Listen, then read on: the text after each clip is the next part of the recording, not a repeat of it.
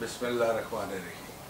میں ہوں میجر سید کامران حیدر اور میرا چینل ہے بالکل ویزا کنسلٹنٹ میں آپ کو آج اس ویڈیو میں یو کے کا اسٹوڈنٹ ویزا کے بارے میں بتاؤں گا۔ اور اس کی خاص بات یہ ہے کہ میں اس ویزا کے بارے میں بتاؤں گا جس میں آپ کو آئلس کی ضرورت نہیں ہے۔ اچھا جی سب سے پہلی بات تو جیسے کہ آپ سب لوگ جانتے ہیں کہ یو کے جو ہے بریگزٹ میں جا رہا ہے مینز وہ یو کے جو ہے، وہ برٹن جو ہے وہ ایگزٹ کر رہا ہے یورپ کو۔ اچھا یورپ کو ایگزٹ کرنے کی وجہ سے جہاں پہ اس کو کافی زیادہ نقصانات بھی ہو رہے ہیں اور کافی زیادہ کمپنیز وہاں سے جا رہی ہیں۔ اسی طرح وہ کافی چیزیں جو ہے نا، نئی اپرچونیٹیز لوگوں کے لا رہا ہے جس میں سے اس نے ایک جو اپرچونیٹی ہے، وہ یہ اسٹوڈنٹس کی ہے۔ یہ ایک بہت بڑی مارکیٹ ہے یو کے کے لیے۔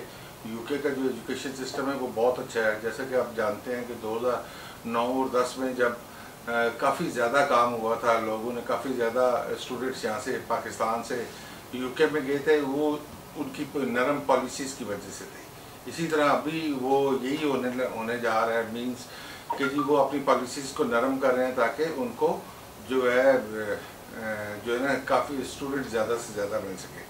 اچھا جی میں اس ویڈیو میں آپ کو بتانا چاہتا ہوں کہ جی وہ لوگ جو کہ شائع ہیں آئلس کرنے سے یا وہ وہ لوگ جو یہ سمجھتے ہیں کہ جی اگر آئلس نہ ہو تو وہ یو کے لیے اپلائی کریں گے، تو ان کے لیے اچھی خبر یہ ہے کہ وہ آئلس کے لیے آئلس کے بغیر ویزا اپلائی کر سکتے ہیں۔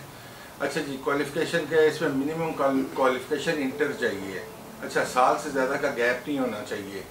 سب سے جو خاص بات ہے انگلش سبجیکٹس میں، اس کے سکسٹی پرسنٹ مارکس ہونے چاہیے۔ سکسٹی پرسنٹ اگر اس کے پاس مارکس ہے تو اس کا جو ہے نا آئلس ویو آف ہو جائے گا اور اس کے ویزا لگنے کے چانسز زیادہ سے زیادہ ہوں گے۔ اچھا جی تقریباً چار سے پانچ ہزار پاؤنڈ فیس ہے۔ ٹھیک ہے جی۔ اور یہ تقریباً اگر آپ جو ہے نا ہمارے تھرو اس کو پروسیس کرتے ہیں، تو تقریباً ہم اس کو تین سے چار ہفتے میں آپ کے یو کے کا اسٹوڈنٹ ویزا پروسیس کریں گے۔ آپ کو کوئی بھی کوشچن ہو تو یہ نیچے دیے گئے جو نمبر ہیں، ان پہ آپ کال کریں، اس پہ کال کر کے آپ اپائنٹمنٹ لے سکتے ہیں اور آپ آ کے مجھ سے مل سکتے ہیں۔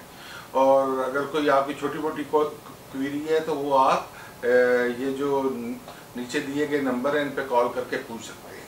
تھینک یو بہت مہربانی۔